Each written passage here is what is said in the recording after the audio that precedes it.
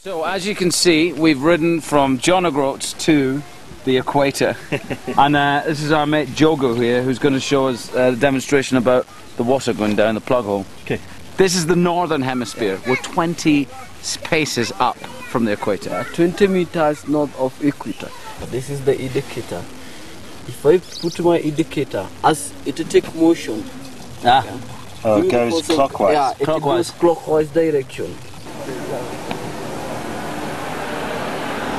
So now we're on the southern hemisphere, 20 meters on the other side of the equator, and technically it should go the other way around. Yeah.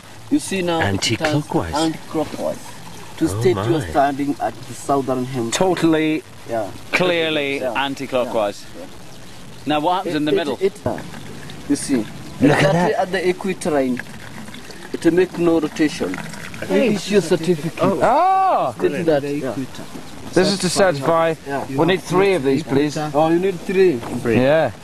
Yeah, this you, your name